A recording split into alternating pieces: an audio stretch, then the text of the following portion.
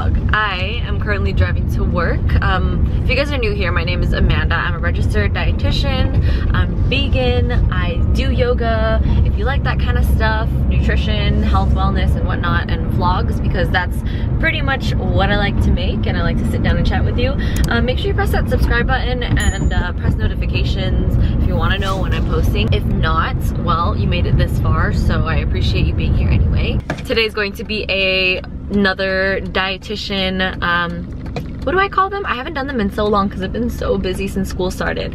But it's going to be a day in the life of a clinical dietitian. Currently I work in the hospital, unlike I said before. And as a clinical dietitian, I don't give people meal plans. Like I don't tell them, okay, for breakfast, lunch, and dinner, you eat this. I just make sure that patients are getting the right amount of energy that they need for their specific body, for their specific condition. Um, I help and make sure that they're getting the right tube feeding, educate patients on diet, and um, I talked about this before, but yes, I do talk about plant-based diets, but it's not something that I push on them. I just offer it to them um, as an idea to look up and think about, but at the time, it's not really appropriate to be like, hey, you should go vegan. So I just tell them about like eating more plant-based meals. And honestly, all the dietitians in the office are in this common consensus that eating more plant-based meals is generally better for your health. So I don't think that there's a problem with that. I'll see you guys over in the office and make sure you stick around if you want to um, hear about a little case study. For these dietitian vlogs, I normally like to share a case study where I change enough information so you don't know who the patient is or really like you can't identify them at all, but I like to share little um, situations and how I, as a dietitian, can intervene and um, that situation. So make sure you stay tuned for that and I'll see you in a little bit. I'm off and I just dropped my water bottle on my foot. All right, so Miss Jo Cinders is a 65 year old female admitted for urinary tract infection. She presented to the emergency room with an altered mental state, meaning she was just in there, she was kind of like confused, which happens a lot with people who get infections sometimes, especially the older population. So literally that's all I could find on her present state, her present diagnoses, because she was a new admit. She just gotten admitted the night before. She's just laying in bed. I come into work early in the morning, so there's not really much else going on. The doctors haven't even come and rounded and completed their notes yet. So I really couldn't give a complete background like she has diabetes, she has hypertension, she has cardiovascular disease. I just have to go off of the fact that she came in with an altered mental state and she had a UTI. So the reason why I went in to go see her is because she had a Braden score of 8 and Braden score is basically the um, the, the score that's given to you based on the like integrity of your skin. The lower the Braden score is, the more at risk you are of having a like a skin wound, like a pressure ulcer, which I've talked a lot about in my other dietitian clinical case studies. So make sure you check those out if you want a little more a little more background on um, wounds and pressure ulcers, pressure injuries as they would also be called. So um, I was supposed to see her for that low Braden score. She also already did have wounds, meaning she's probably bedridden um, and her skin's already weak so she has some like pressure ulcers. So she also had a swallow evaluation. Now dietitians are supposed to see patients all the patients who have a swallow evaluation ordered because we're supposed to be the ones to oversee. Okay so they failed their swallow evaluation meaning they can't swallow safely so they have to have tube feeding or other sorts of nutrition um, given to them. Or yes they finished or yes they passed their swallow evaluation. Great so let's give them a diet that is meant for their condition. So for this lady um, when I went in to go look at her chart, I went to see her swallow evaluation and the speech therapist or the speech language pathologist wrote in her note, she tested out different types of foods and liquids to see if the patient is safe enough to drink or um, like eat food by themselves because what we don't want is to give somebody a oral diet and then they end up choking on water, they choke on food, and then it just takes us like five steps back. So anytime that somebody comes in that's altered or doesn't seem like they can swallow or speak or anything properly, we have to make sure that they can swallow safely by themselves. Otherwise, we run the risk of aspiration, which means that they just choke on their food, which just causes a whole big issue of problems that we really don't need right now because we're trying to focus on this lady's UTI. We're trying to focus on her altered level of consciousness. So she said severe oral, oral pharyngeal dysphagia, which basically just means that, you know, she can't swallow um, significantly worsened since previous speech therapy bedside swallow evaluation in February 2019 per her chart review. So it seems like this patient already has had a visit over in the hospital and also failed her swallow eval um, but not as bad as before. So the speech therapist recommended um, nothing by mouth, NPO, which means nil per os, which is Latin for just don't have anything by mouth, which is something, which is an order that doctors usually give patients before, you know, surgeries or if a patient is not safe to eat anything, um, they do NPO and may benefit from small amounts like one third teaspoon presentation of just water just for oral gratification. So something like ice chips or something. Oral gratification just means allowing the patient to have something in their mouth and then we'll gather more information when son is present. So this patient's son is the power of attorney, meaning the patient, meaning the son has the power to, you know, say, I want tube feeding, I don't want tube feeding, I want this, I want my mom to, you know, go through with the whole intubation thing, or I want her to just go home with hospice, which is basically just um, going home, having caretakers go to the house and making sure that the patient's comfortable and whatnot. So when I went to go visit, I saw that the patient wasn't even responsive. And this happens a lot with the patients that I see who have swallow evaluations and fail is that they're not responsive. They're already intubated, meaning they have a tube in them already. But this patient has not had any tubes in because they still had to discuss with the son um, the results of the swallow evaluation, which literally just happened. So the son hasn't had a chance to come by, talk to the doctor or the nurse about it yet. So when I went in there, patient wasn't able to respond to anything I was saying, really was just staring up in the ceiling. Um, we really don't know what has happened yet because no tests have been run or the results haven't been interpreted yet. Usually we have like a CT scan, brain scan, MRI to see was there a cerebrovascular accident, also known as a stroke, which means that the patient's brain has been impaired. Um, we really don't know what has happened. So I kind of have to make a diagnosis from here and figure out, okay, how are we gonna get this patient to eat anything? So when I went in there, obviously patient wasn't responding. I talked to the nurse. So I wrote, per RN, two days prior to the admit, the patient has had difficulty swallowing and drinking liquid and was on a soft diet. So patient was eating just fine earlier with the son, but then got admitted and wasn't able to swallow or respond or really eat anything safely. There was a sitter at the bedside. Sitter is somebody who just watches the patient, make sure that the patient doesn't like hurt themselves or choke or anything. So the sitter was also there when I was visiting. She said that the son was coming today and um, the nurse notified the son about the failed swallow evaluation. So we're gonna figure out if this patient's gonna get tube feeding or not. In my opinion, the best bet would be tube feeding for now because if the patient's swallow function does come back, at least the patient has had some nutrition in that time and isn't like super cachectic or their muscle hasn't been wasted. Um, they've been able to get some nutrition.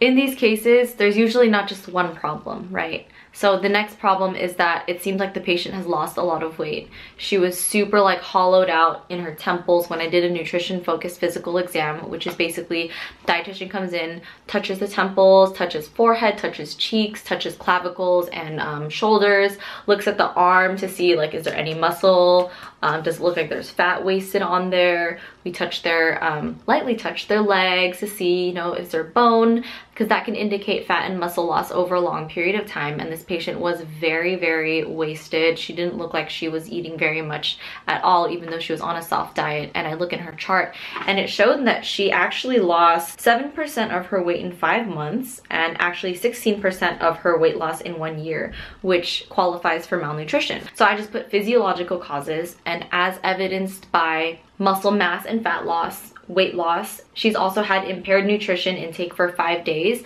supposedly, but I've been unable to confirm that since she has been nonverbal. There's not really that much history left on the chart for me to look at. And my intervention is I gave a tube feeding recommendation. This many calories, protein, whatever for her estimated needs. Um, another thing is to consider the addition of vitamin C to encourage wound healing because vitamin C, zinc, and multivitamin are the three things that I try to recommend to have for patients who do have wounds because it helps with skin integrity and skin strength. That's why you'll always see like YouTubers be like, oh, I start my morning with like lemon water because the vitamin C helps strengthen skin and it's not BS guys. Like for real that's what we even recommend in the hospital too. So I submitted a recommendation. I submitted a malnutrition form because when we do that then the doctors and the insurance and people are able to cover that more and they're able to see like this is a patient that really needs feeding. For the follow-up date I put two days because I wanted to make sure that this patient is getting some kind of nutrition.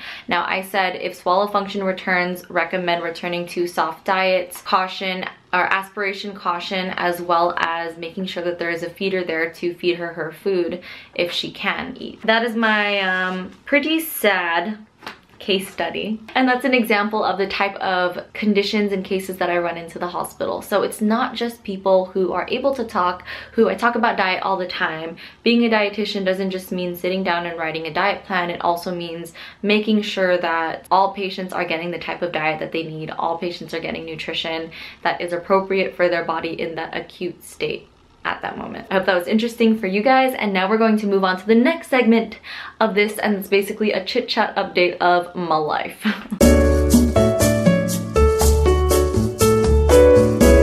okay, hi. Instead of water, I actually decided to get me some CBD oil. This is, I've talked about this before and this is actually the only CBD oil that I've been using lately.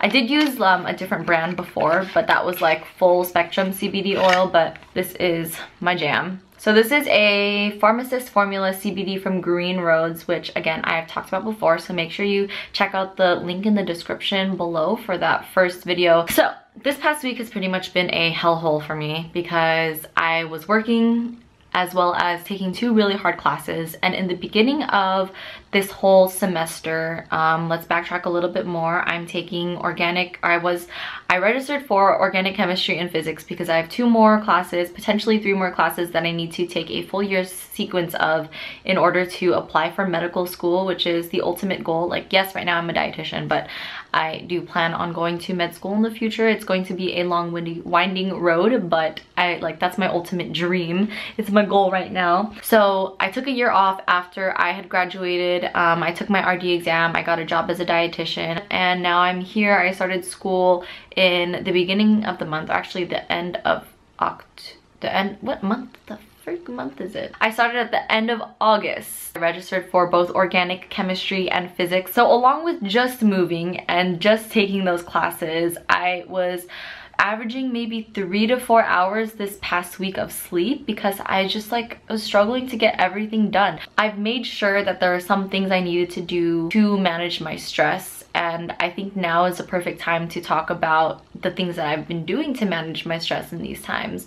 The first thing is I decided to reach out to people because I felt like I was alone. I was like, man, I'm such a failure. I'm alone in this struggle, blah, blah, blah. And I'm like, you know what? No, I have family and I have friends who care about me. I need to reach out and prove to myself that I am not alone. That way those little demons that used to bother me, that used to get me, that used to pull me into these like really bad mental health traps, um, don't pull me back again. So I told them, look, I'm not really looking for any solutions. I just wanted to talk about it and like let it out in the universe that I'm not alone in this struggle and they completely understood and knowing that I was supported really helped ease the load. And they even though I wasn't looking for um, solutions give them giving me their feedback was really helpful. Thank god throughout the week I had at least CBD oil. Like I could feel my stress building up. Let's rewind a little bit. What the heck is CBD so CBD is an abbreviation for cannabid cannabidiol which is the non-psychoactive component of the marijuana plant. So it's the part of it that's not THC, that doesn't get you high.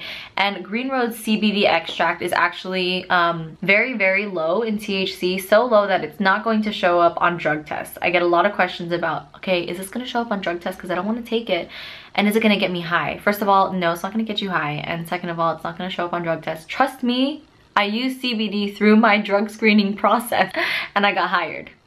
So CBD has been used for a lot of not only physical but also mental aspects. Physical as in physical pain, soreness, joints, muscle fatigue, as well as mental aspects in terms of overall stress. CBD has also been shown to help some people with their sleep as well. Personally, it has helped me with feeling more calm and relaxed at night and you could get eight hours of sleep, but if your eight hours of sleep is under a stressful situation and your body and your mind are not in cue, then your eight hours of sleep is not gonna be as restful as a six hours sleep that's completely rested and um, not stressful. Do you get what I mean? Do you get where I'm coming from? So, um, our body actually has this thing called an endocannabinoid system, which is super cool. It's a group of receptors that's present not only in um, animals, but also humans, and it helps to keep the body in balance. You'll find a lot of endocannabinoid receptors in your brain, as well as your digestive system, as well as your, I was gonna say gut, but that's the same thing, as well as your muscles. It impacts a wide range of health and disease related conditions, so it's important to keep that in track or in check. So the way CBD works is that it attaches to the receptors in our endocannabinoid system and keeps our body balanced and healthy. So this week in particular, I've been doing a lot of CBD stuff just so I can like try to stay as stay sane as possible. Now, I don't normally go as hard in the paint with this anti-stress stuff, but I knew that extra stress would not be good for me. Extra stress is just not good for your hormones and especially for sleep because we all know that REM sleep is so important for brain function and refreshing and renewing. And if I don't get good quality sleep, then I don't function that well. I have to take care of myself so I can better take care of other people. And in order to do that during these times, things like CBD, yoga, talking to people, journaling, drinking calming teas, drinking, uh, there's a CBD coffee that Green Roads has that I've been drinking as well. That is really, really helpful. So CBD works and I'm actually, I've been waiting to use this so I can explain it to you and then drop it under my tongue. So you drop it under your tongue and hold it under your tongue for a 30 seconds. And the reason why is because there's like a thin layer of skin under your tongue that goes directly to your bloodstream. So you can get as much like CBD, I guess, absorbed into that bloodstream and then you swallow. There's also CBD gummies. These are the relief toads. These are actually the only gummies I think that are vegan. The other ones have gelatin in them, but this one is vegan. Obviously, it says vegan right there. So there are options for us plant people. So these I like to take when I'm feeling super extra, but this week I'm okay. I don't really need to take them. Plus, I kind of want to save them for a rainy day. So the CBD oil is all I really need. If you're interested in trying out CBD, you want to try out Green Roads, make sure you check out the link in the description below.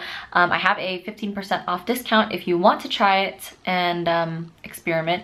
What I like to tell people is it's definitely not gonna do you any harm. Like worst case scenario, it does nothing. Best case scenario, it helps you during a very overwhelming, stressful time in your life. It helps you fall asleep faster. It helps you like re recover faster. Because your stress lowers, let me tell you something about stress, okay? Stress can mess up your skin, it can mess up your hair and your nails, and also mess up digestion. When I'm super stressed, my digestion just goes down south, and it's just a bad feedback loop because I'm like, oh my gosh, I'm not pooping.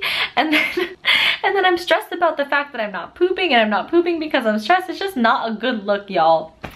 So also stress can also make you hold on to fat, water retention, and it just is not overall a good look. So we try to avoid stress as much as possible and stay as sane as we can, not only to help ourselves, but like I said before, to help other people. So yeah, that's, you know, if you want to try it out, you're welcome to.